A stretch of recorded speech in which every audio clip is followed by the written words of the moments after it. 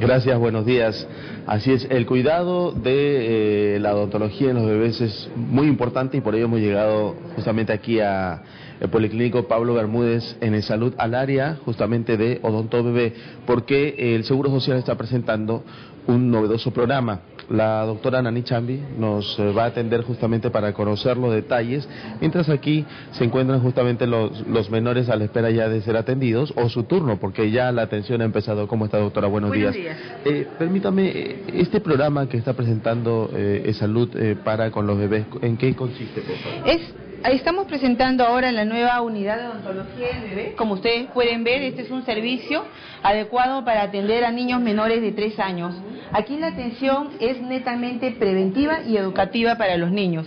Como ustedes están viendo, la doctora está haciendo la demostración en un niño de 0 a 6 meses, donde es básicamente hacer el aseo bucal al niño, ¿no? Detectar alguna patología en él, cambiar las conductas de los papás, de la mamá, modificar, porque nosotros trabajamos con el núcleo niño, padres y el odontólogo. Eso, ¿no? Porque, por ejemplo, hay quienes creen o, o, o, cuando muchas veces eh, señalan eh, sobre la, la, situación de los dientes de los bebés, dicen, no, pero estos son de leche, se les va a caer, así que mejor los cuido después.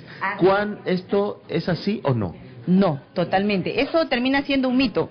¿Por qué? Porque los dientes de leche tienen mucha importancia. Los dientes de leche no solamente eh, sirven para sonreír en los pequeñitos, sirven para comer, sirven para evitar incluso este, levantar la autoestima de los niños, porque es muy triste ver un niño entre los dos años que está con los dientes totalmente negritos. Los niños a veces suelen ser muy crueles hacer estas expresiones, son totalmente sinceros y les dicen, eso les baja la autoestima. Justamente este programa es para evitar a que un niño llegue con los dientes con caries, ¿no?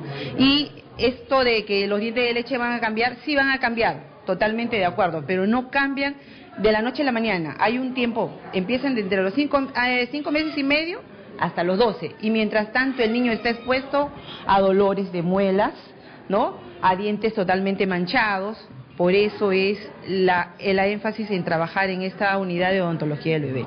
Doctora, ¿y cómo es la respuesta actual de los padres justamente a ello? ¿no? Señalábamos que hay quienes piensan esto, que tienen esta falsa idea, pero eh, actualmente hay más control de los niños, los padres están controlando más a sus niños el tema dental o aún no, faltaría eso. En nuestra población asegurada se está logrando cambiar esto, ¿no?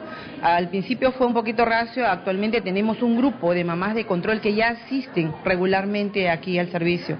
Vienen en busca de una medida preventiva, nosotros controlamos, se le enseña y luego la mamá nos... Eh, hacemos que ella nos demuestre si ha aprendido o no lo enseñado, ¿no? Se va modificando conductas, tanto alimenticias, tanto de hábitos malfuncionales. Ahora, esto es un, eh, digamos, un sistema, eh, digamos, por ejemplo, el tema para las citas. ¿Cómo es? ¿Es similar a la de los adultos? Eh, ¿Cómo se está haciendo para poder atender la demanda justamente de, atención? Aquí en odontología de bebé las citas son abiertas. Tenemos, manejamos dos grupos, pacientes control, que ya se le programa la cita al paciente de acuerdo a la fecha, de acuerdo al riesgo, al riesgo estomatológico, y pacientes que son captados en la consulta y ellos vienen directamente. El servicio de odontología está brindando turnos disponibles para que la mamá tenga la facilidad, el acceso aquí a odontología del bebé. Este programa es nuevo, tiene más o menos aproximadamente tres años aquí en la institución, se están logrando los cambios y a eso apuntamos, ¿no? que la mamá revertir esta enfermedad, revertir la caries dental, que es una enfermedad actualmente de bastante prevalencia. Lo que pasa es que no le damos la debida importancia porque es una enfermedad crónica, ¿no? Es una enfermedad que tiene muchos factores, muchos componentes. Las mamás, mucha de nuestra población cree que hay caries solamente cuando hay un diente negro y un diente con hueco. Y es mentira. La caries tiene una etapa progresiva. Empieza desde una mancha blanca y luego va progresando hasta que acaba en una caries, en una cavidad con un hueco, negra y con un absceso, ¿no? Entonces se cambia la mentalidad de las personas. Es igual, muchas mamás creen que comer chatarritas, comer las golosinas, eso va a hacer de que incremente el riesgo de caries. Y no, nosotros acá no le prohibimos a la mamá de que coma golosinas. Lo que pasa es que se les dice que las puedes comer, pero te tienes que lavar los dientes. Lo malo es, lo malo no es comer las golosinas, lo malo es comerlas y no lavarnos los dientes. Eso es lo malo, ¿no?